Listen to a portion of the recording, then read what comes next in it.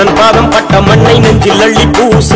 அடிமைக்கும் வீரம் வரும் ஆற்றல் கொண்டு வீசு. கண்ணின் தீயை முட்டி நின்று வீர வாழ்வை பேசு. தலைவா நீ வாழ்க.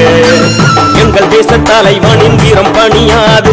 எங்கள் அண்ணன் எண்ணத்துக்கு ஈடு இணையேது. பலியின்றி வாழ்வில் ஒரு வெற்றி கிடையாது. தலைவா நீ வாழ்க.